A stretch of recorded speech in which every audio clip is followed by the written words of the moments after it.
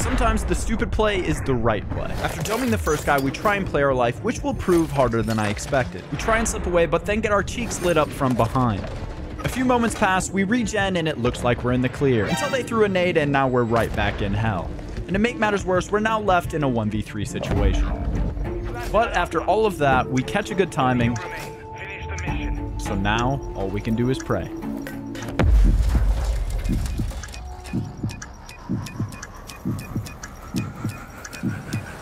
That's hilarious.